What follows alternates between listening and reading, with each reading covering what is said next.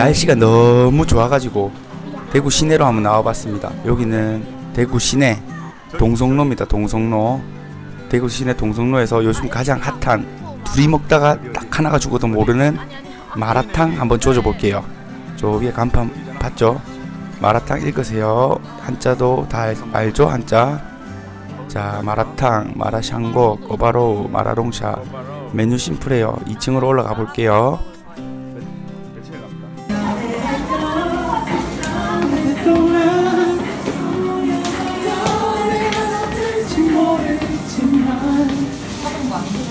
한 줄로 서래요. 자, 한 줄로 서야 돼요. 자, 오픈은 11시, 마감도 11시. 같은 시간에 끝나네요. 여기는 실내인데 손님들이 식사를 하고 계셔서 찍지 않았습니다.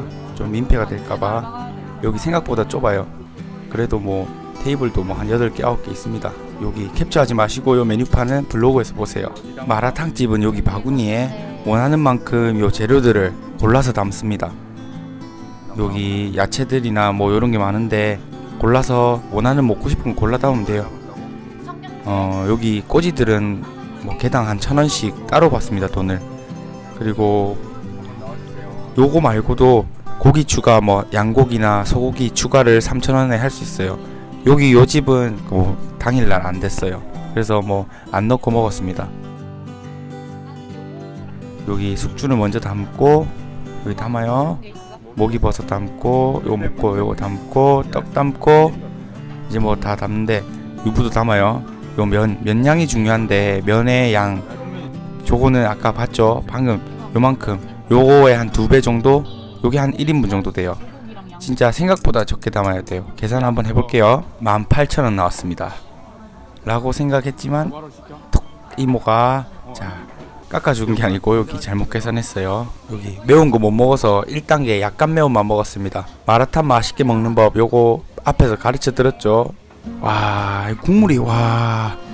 이 딱 맛보는 순간 진짜 중국 한 세 번 왕복으로 왔다 갔다 왔어요.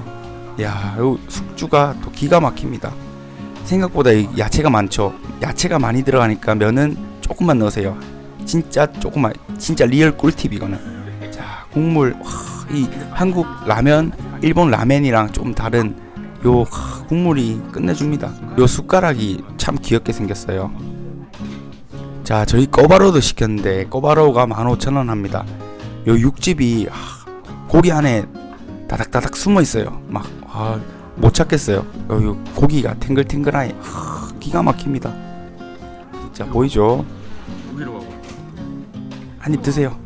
음, 야. 정경채와 저 면의 조화 톡톡 찍어서 한입 딱 먹는 순간 진짜 다 먹었어요. 대구 동성로의 마라탕 꼭 한번 가보세요. 진짜 맛있습니다. 자 숨겨놨던 한 점 묻혀가지고